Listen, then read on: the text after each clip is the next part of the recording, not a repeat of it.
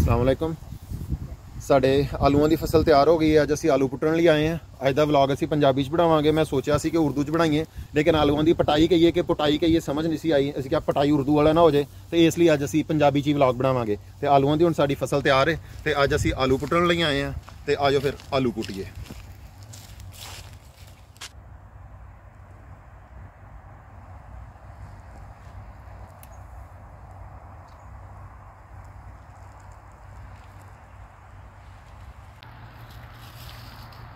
ਤੇ ਇਹ ਉਹ ਪੌਦਾ ਜਿਹੜੀ ਆਲੂ ਦੀ ਇੱਕ ਕਿਸਮ ਹੈ, ਲੇਕਿਨ ਇਹ ਫਿਨਲੈਂਡ ਦੇ ਵਿੱਚ ਹੁੰਦੀ ਹੈ ਤੇ ਇਹਨੂੰ ਫਿਨਿਸ਼ ਦੇ ਵਿੱਚ ਜਾਂ ਇੱਥੇ ਦੀ ਜ਼ਬਾਨ ਦੇ ਵਿੱਚ ਇਹਨੂੰ ਆਰਤੀ ਸੋਕਾ ਕਹਿੰਦੇ ਨੇ, ਆਰਤੀ ਸੋਟਾ ਜਾਂ ਮਾਰਤੀ ਸੋਟਾ।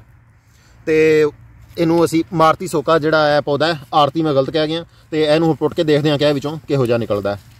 ਬਿਸਮਿਲ੍ਲਾਹਿਰਰਹਿਮਾਨਿਰਰਹੀਮ। ਤੇ ਇਹ ਤੁਹਾਨੂੰ ਹੁਣ ਨਜ਼ਰ ਆ ਰਿਹਾ ਹੋਵੇਗਾ ਇਹ ਅਦਰਕ ਦੀ ਸ਼ਕਲ ਦਾ, ਇਹ ਆਲੂ ਜਿਹਾ। ਇਹ ਬੇਸਿਕਲੀ ਆਲੂ ਨਹੀਂ ਹੈਗਾ। ਇਹਨੂੰ ਤੁਸੀਂ ਰਾ ਕੱਟ ਕੇ ਸਲਾਦ ਦੇ ਤੌਰ ਤੇ ਬਿਲਕੁਲ ਇਹਨੂੰ ਕੱਚਾ ਖਾ ਸਕਦੇ ਹੋ ਤੁਸੀਂ। ਤੇ ਜ਼ਾਇਕਾ ਇਹਨਾਂ ਕੋਈ ਖਾਸ ਬਹੁਤ ਚੰਗਾ ਨਹੀਂ, ਬਹੁਤ ਮਾੜਾ ਵੀ ਨਹੀਂ ਸਲਾਦ ਦੇ ਤੌਰ ਤੇ ਜਿਵੇਂ ਕੋਈ ਮੂਲੀ, ਗਾਜਰ ਐਂਜੀ ਹੈ ਬਸ ਇਹਨੂੰ ਵੀ ਕੱਟ ਕੇ ਤੇ ਤੁਸੀਂ ਇਹ ਜੜਾਂ ਦੇ ਵਿੱਚੋਂ ਇਹ ਤੋੜ ਕੇ ਤੇ ਖਾ ਸਕਦੇ ਹੋ।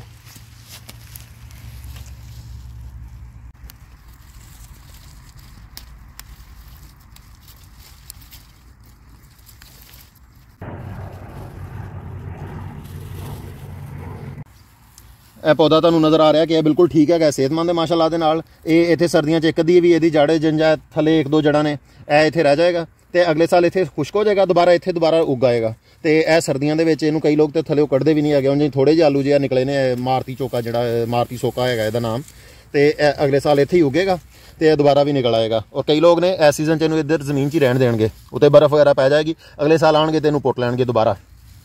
ਤੇ ਲੇਕਿਨ ਇਹ ਅਸੀਂ ਪੌਦਾ ਇੱਥੇ ਵਾਪਸ ਲਾ ਦਿੱਤਾ ਹੈ ਜੀ। ਇਹਦੀ ਜੜ ਕੱਢ ਕੇ ਤੇ ਇਹ ਇੱਥੇ ਹੀ ਉਗਣਾ ਇਹਨੇ ਦੁਬਾਰਾ ਅਗਲੇ ਸਾਲ ਵੀ।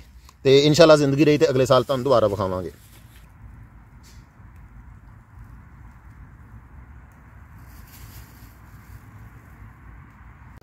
ਹੁਣ ਅਸੀਂ ਆਪਣੇ ਦੇਸੀ ਆਲੂ ਪੁੱਟਣਾ ਸ਼ੁਰੂ ਕਰਾਂਗੇ ਤੇ ਜਿਵੇਂ ਪਹਿਲਾਂ ਪਿਛਲੀ ਵੀਡੀਓਜ਼ ਦੇ ਵਿੱਚ ਦੱਸਿਆ ਸੀ ਕਿ ਇਹ ਜਿਹੜੀਆਂ ਦੋ ਕਤਾਰਾਂ ਨੇ, ਇਹ ਜ਼ਰਾ ਮਹਿੰਗੇ ਆਲੂ ਲਾਏ ਸੀ ਤੇ ਜ਼ਰਾ ਅਲੱਗ ਕਰਨ ਲਈ ਤਾਂ ਕਿ ਜਦੋਂ ਪੁੱਟ ਕੇ ਤੇ ਇਹਨਾਂ ਨੂੰ ਅਸੀਂ ਅਲੱਗ ਰੱਖ ਸਕੀਏ, ਕਿਉਂਕਿ ਦੋਨਾਂ ਦਾ ਜ਼ਾਇਕਾ ਫ਼ਰਕ ਹੈ। ਇੱਕ ਹਾਂਡੀ ਦੇ ਵਿੱਚ ਦੋਨਾਂ ਦਾ ਜ਼ਾਇਕਾ ਪਤਾ ਨਹੀਂ ਕਿਹੋ ਜਿਹਾ ਲੱਗੇ। ਤੇ ਇਸ ਲਈ ਨਿਸ਼ਾਨੀ ਦੇ ਤੌਰ ਤੇ ਇਹ ਜਿਹੜਾ ਡੰਡਾ ਹੈ ਦਰਮਿਆਨ ਜਿੱਥੇ ਰੱਖ ਦਿਆਂਗੇ ਜਾਂ ਨਿਸ਼ਾਨ ਜਿਹਾ ਵੀ ਲਾ ਸਕਦੇ ਹਾਂ ਅਸੀਂ।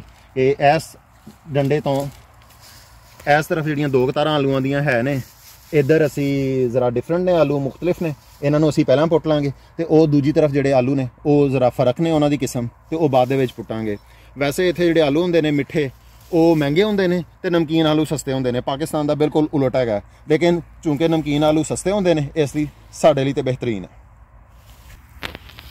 ਤੇ ਹੁਣ ਅਸੀਂ ਇਹ ਸਭ ਤੋਂ ਪਹਿਲਾ ਪੌਦਾ ਉਖੇੜਦੇ ਆਂ ਤੇ ਜ਼ਮੀਨ ਨਰਮ ਹੀ ਹੈ ਜ਼ਰਾ, ਇਹ ਨਿਸ਼ਾਨੀ ਇੱਥੇ ਹੀ ਰਹਿਣ ਦਿੰਨੇ ਆ ਜ਼ਮੀਨ ਨਰਮ ਹੀ ਹੈ ਤੇ ਇਸ ਲਈ ਇਨਸ਼ਾਅੱਲਾ ਉਮੀਦ ਹੈ ਕਿ ਆਲੂ ਆਰਾਮ ਦੇ ਨਾਲ ਨਿਕਲ ਆਉਣਗੇ, ਉੱਤੇ ਉੱਤੇ ਹੀ ਨੇ, ਜ਼ਮੀਨ ਦੇ ਉੱਤੇ ਹੀ ਰਹੇ ਨੇ।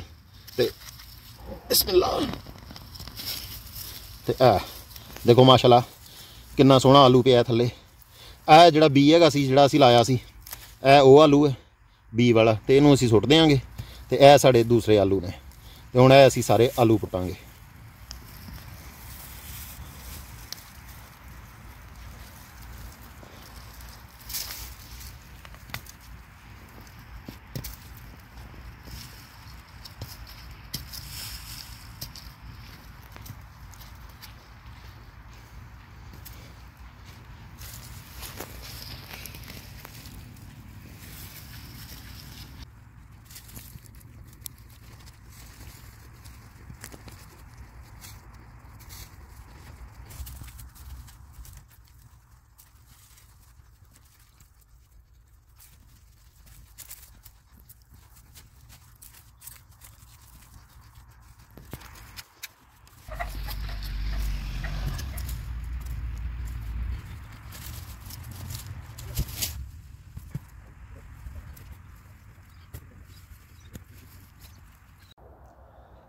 ਇੰਨੀ ਜ਼ਮੀਨ ਚੋਂ ਹਜੇ ਆਲੂ ਪੁੱਟ ਲਏ ਨੇ ਤਕਰੀਬਨ ਅੱਧੀ ਹੋ ਗਈ ਹੈ। ਤੇ ਹੁਣ ਅਸੀਂ ਸੋਚਿਆ ਕਿ ਸਾਹ ਲੈ ਲਈਏ। ਤੇ ਆ ਇੱਕ ਬੂਟਾ ਪੁੱਟ ਕੇ ਤੁਹਾਨੂੰ ਵਿਖਾਉਂਦੇ ਆ ਕਿ ਹਜੇ ਵੀ ਆਲੂ ਹਜੇ ਕਾਫੀ ਕੰਮ ਪਿਆ ਹੈ। ਜ਼ਮੀਨ ਨਰਮ ਹੈ, ਲੇਕਿਨ ਉਹ ਨਰਮ ਹੋਣ ਦੀ ਵਜ੍ਹਾ ਤੋਂ ਜ਼ਮੀਨ, ਆਲੂ ਜਿਹੜੇ ਨੇ, ਉਹ ਥੱਲੇ ਤੱਕ ਚਲੇ ਗਏ ਨੇ।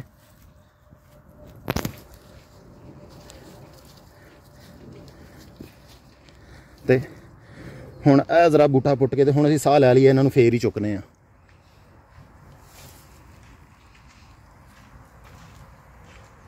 ਇਹ ਹਜੇ ਅੱਧੇ ਹੋਏ ਨੇ।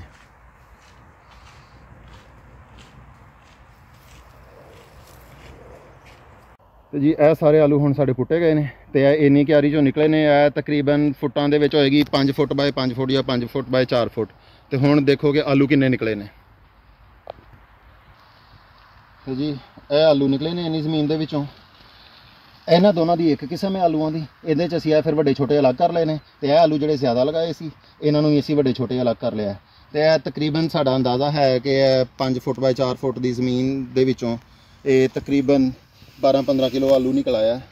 ਤੇ ਜੇ ਅਗਰ ਤੁਸੀਂ ਵੀ ਕੋਈ ਫਸਲ, ਕੋਈ ਜ਼ਮੀਨ ਦੇ ਉੱਤੇ ਲਾਈਏ, ਕੋਈ ਸਬਜ਼ੀ ਵਗੈਰਾ ਤੇ ਅੱਲਾਹ ਤਾਲਾ ਉਹਦੇ 'ਚ ਬਰਕਤ ਪਾਏ, ਉਮੀਦ ਹੈ ਕਿ ਤੁਹਾਨੂੰ ਅੱਜ ਦਾ ਸਾਡਾ ਵਲੌਗ ਹੈ ਚੰਗਾ ਲੱਗਾ ਹੋਵੇਗਾ। ਸਾਡਾ ਪਹਿਲਾ ਪੰਜਾਬੀ ਦਾ ਵਲੌਗ ਹੈਗਾ। ਅੱਲਾ ਤੁਹਾਨੂੰ ਆਪਣੀ ਹਿਫਜ਼ੋ ਇਮਾਨ ਚ ਰੱਖੇ। ਆਮੀਨ। ਅੱਲਾ ਹਾਫਿਜ਼।